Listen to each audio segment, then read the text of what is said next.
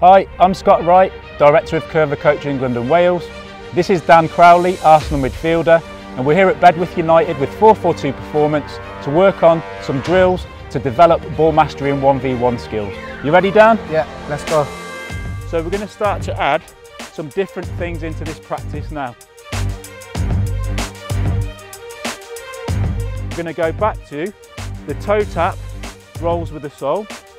So it's going to be one, two, roll, one, two, roll. Now when you get the ball onto your right foot, or whichever foot the ball lands on after two, you're going to play a right footed pass to me.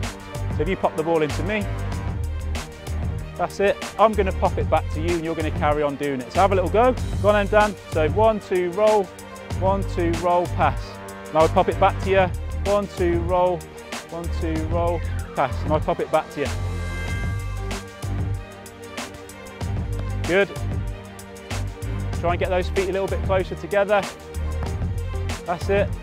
So we're, we're cutting down on the ball.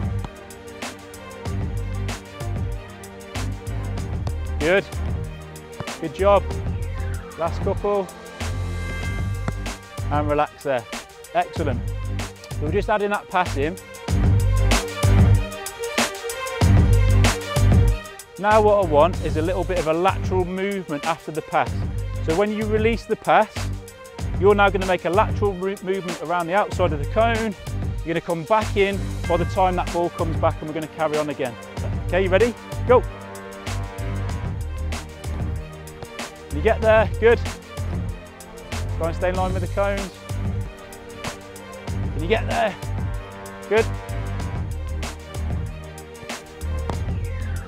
Good job.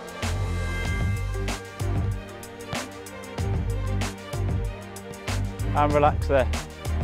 To watch the next video of the series, click here. To subscribe, click here.